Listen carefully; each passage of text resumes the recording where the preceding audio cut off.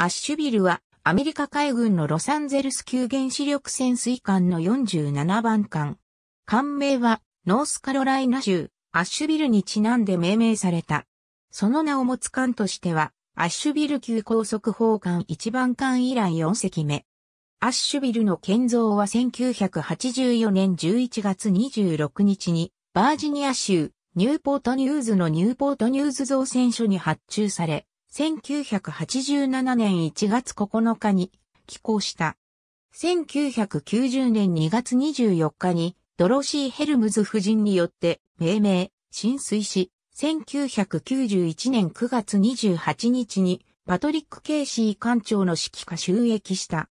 アッシュビルは高度機雷探知システム高感度アクティブソナーレイの発信機、受信機をセール部分に装備し、監視下部には円盤状のアクティブソナードームを装備した。システムは目標検知、機雷の回避及び海底探知に使用される。1996年12月にアッシュビルはノースロップグラマンによる無人探査機シーフェレットの高死母艦となった。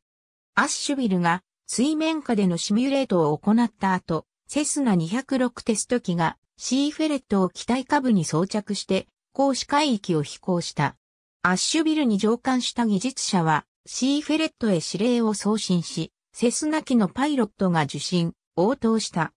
その後、シーフェレットのコントロールは、アッシュビルチーム、海兵隊偵察チーム、陸軍航空隊チームで交互に行われ、3つのチームはセンサーデータを連続して受信した。